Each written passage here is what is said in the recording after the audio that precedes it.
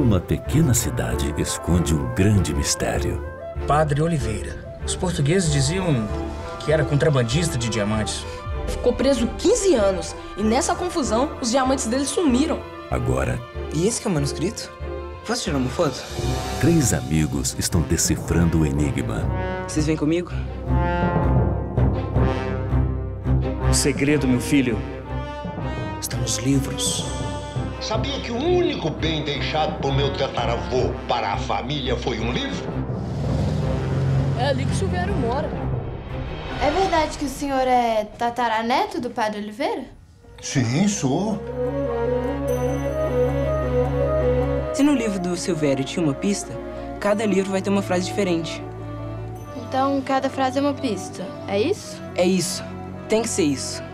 Que viagem. E esses livros vão levar a gente até os diamantes, eu tenho certeza. Por enquanto, só a gente tá nessa. Mas é uma questão de tempo até mais alguém se tocar. Mas nessa aventura, Ah, não. O que foi? Arrancar a página. Você ouviu isso? Ouviu o quê? Sei lá, cara, um grito. ninguém sabe o que vai acontecer. na noite ouvirão. Eu só não quero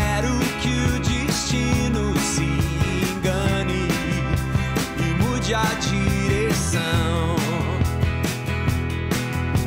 Sigo adiante, Eu acredito em destino, Anjo. fecham. Mas eu preciso Vamos sair fora daqui, Anjo. Descubra o segredo dos diamantes. Breve nos cinemas.